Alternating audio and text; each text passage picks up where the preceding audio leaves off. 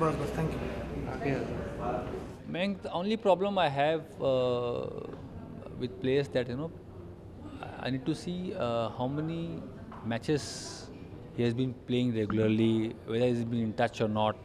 So same thing with Rishabh Pant. Played uh, last pressure game was in in the in the May 10th of May and then he went to UK, uh, England, and of course he had some practice sessions and played the game. So that's only uh, probably worry factor because they won't be uh, in touch of the condition so much uh, and handling handling the pressure.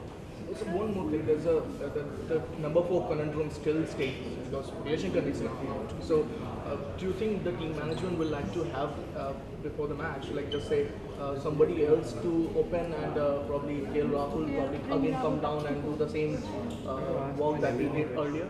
Uh, I don't know what's the plan. Let's see. I mean, the, who do you feel the Indian team is best suited for the number four position? I can't say.